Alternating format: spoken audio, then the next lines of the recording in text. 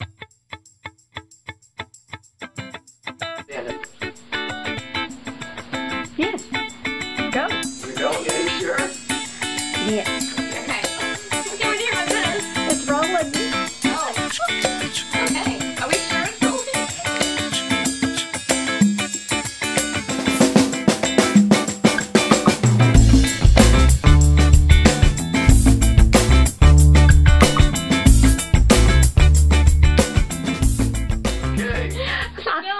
with your love of the coffee ice cream and then the coffee yogurt, Yes. why have you not been motivated to drink coffee?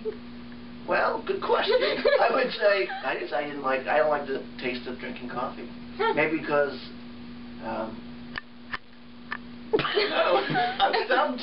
Well, next year, a coffee project with Bill. No way. Are you on? Yes, I am.